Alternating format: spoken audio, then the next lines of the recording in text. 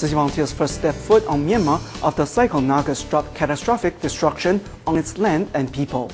With many of Myanmar's schools destroyed, Tzu launched Project Hope to build three schools serving 7,000 students. The Thingangyun 4th Middle School was completed in March and was officially turned over to the Burmese government in May.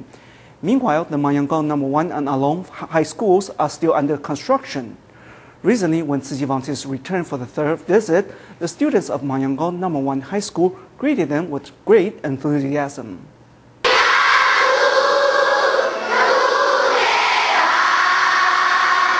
Mayangone Number 1 High School is springing to life as a choir of animated children welcome old friends with the Burmese version of Chi's song One Family.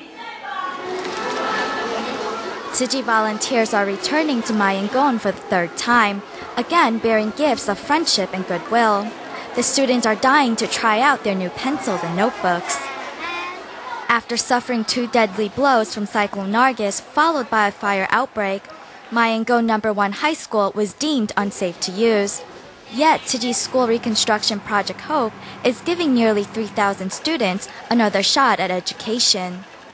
Tzu Chi volunteers help the sick. They help underprivileged students get an education. They pay extra attention to everyone's needs. I know this myself, so I'm really grateful and happy to have met them. Tzu Chi is helping us make some repairs, so I'll tell the student they must study hard to live up to the quality of their new school. The first reconstruction stage of Mayangone Number 1 High School is expected to be finished in August. Once the second phase is completed, the students will fill its walls with the youthful spirit of learning once again.